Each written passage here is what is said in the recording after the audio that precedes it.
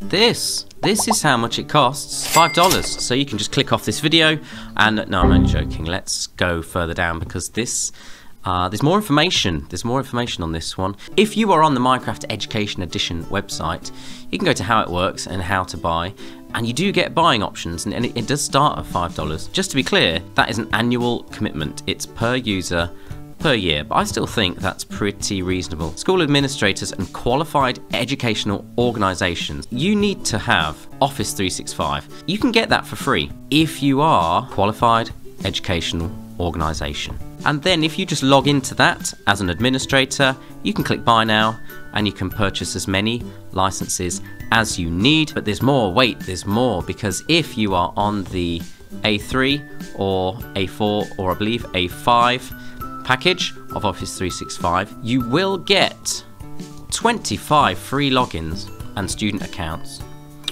Um, and each of those accounts will get 10 free logins. Uh, once you've bought some licenses, you can manage those in the Azure Active Directory. Now, just before we wrap this up, there's more to this. Uh, so, if you run, let's say, a coding camp, it may be the case you can't get this free version of Office 365 because you are not an educational institution, an organization.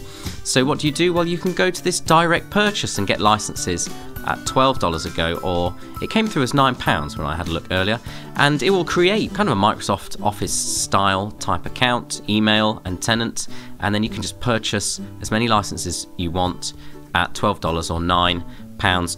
For me, it was a go, and that's it. That's how much it costs. Thanks for watching, and I'll see you all later in the week.